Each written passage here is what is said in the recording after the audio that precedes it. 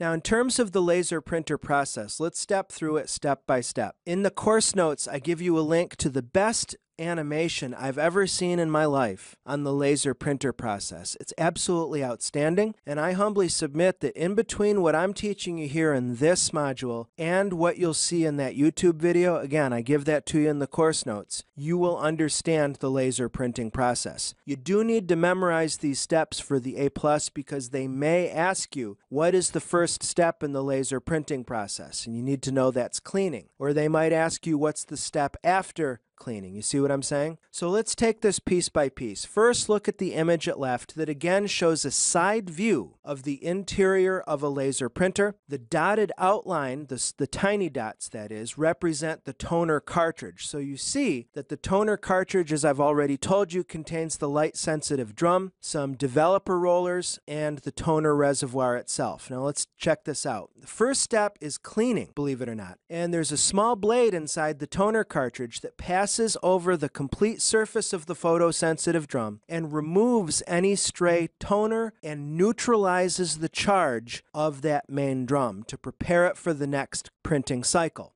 In step two, we have a stage called processing, alternately called conditioning and charging. And at this point, that drum, the main photosensitive drum, needs to be conditioned to hold a page image. So we have a high negative charge applied to the drum by the primary corona wire. And that charge is evenly distributed across the drum. It creates an electro magnetic field. And at this point, because we have such a strong negative charge on the drum, we can write on it with a positive charge. And that's actually the next step. The third stage, called writing or exposing, is where the laser beam kicks on, and in conjunction with the mirrors, it will draw the actual contents of the page image directly on the drum. Now, how does it do it? It makes positive charge where the letters, numbers, and characters that comprise the image will be. So the rest of the drum is negative. Where the toner will be ultimately on the page is given an opposite charge. And no matter how little you may know about electronics, you've probably heard like charge repels and opposite attracts, and that's true. In the fourth stage, developing, at this point the drum is ready to receive toner on the positively charged areas that represent where the image is. So the toner cartridge has a developing roller that becomes magnetized, it's constantly turning, it pulls in the toner particles from the wet reservoir